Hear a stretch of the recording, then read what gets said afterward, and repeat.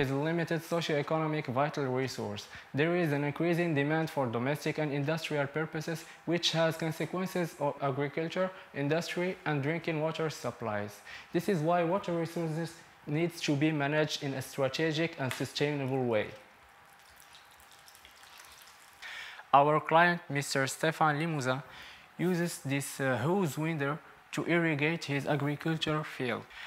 Our goal is to minimize the waste of water. For that, we have developed this system which will allow us to control the irrigation process. For the development of this project, we use this electrical box which contains all the Phoenix Contact components. We have here a GSM antenna and we also have an HMI which allows us to manually control the system. Inside the box, we have a GSM router, we have a switch, and we have three input-output modules. We also have a PLC, which is programmed by PC Worx software donated by Phoenix Contact. And for the development of the HMI, we use the, the software WebVisit. Thanks to the HMI, we can visualize the irrigation process as you see here. Uh, first of all, we tap the, the login now I will show you the application web. We add a login. We can visualize some input like the security sensor and the wheel sensor, uh, indicator for the end of counting.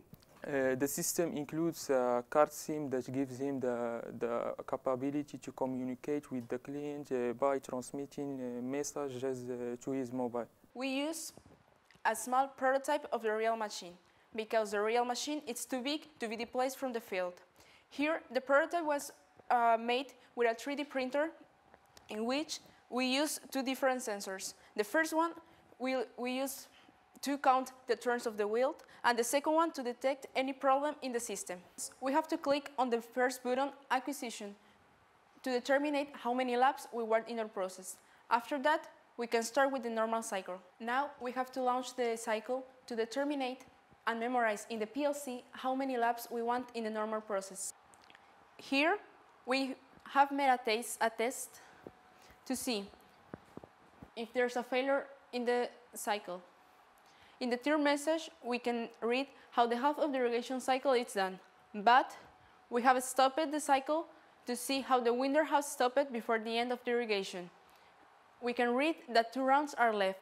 At this moment, the farmer, Stefan Limousin, can go to the machine to treat the problem.